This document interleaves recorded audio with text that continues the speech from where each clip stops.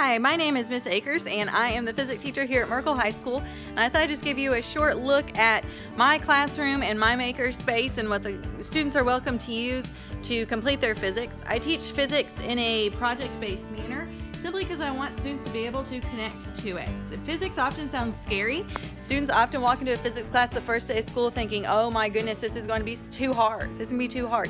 But I've found that as these students come in and get their hands dirty and solve these complex problems in creative ways using the supplies we can provide for them, that they realize I can do physics.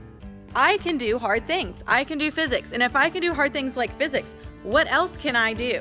And that's ultimately my goal as an educator and a secondary educator is to inspire students to realize they can do hard things.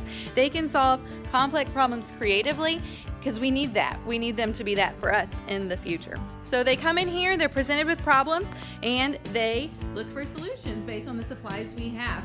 And hopefully in the future, we are of course limited on funds as any school is, but we can only have more supplies to allow them to become more engaged and more innovative to solve bigger, harder problems and only become more inspired to be who we need them to be as our future.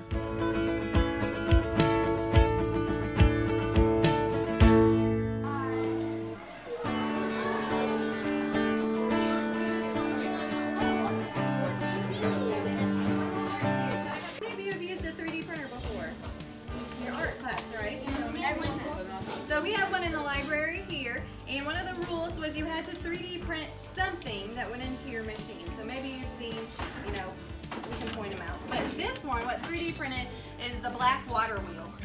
Which is really cool because they use essentially hydroelectric power that's going to work the pulley to make their machine go.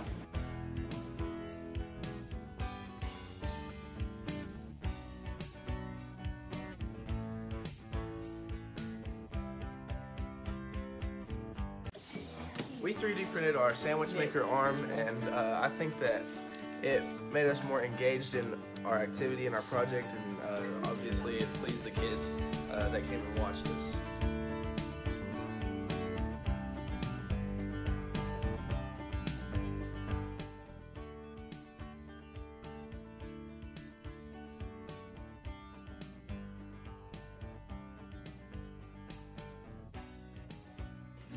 The purpose of this is to hold the ball in place so the fan doesn't blow it away when we start.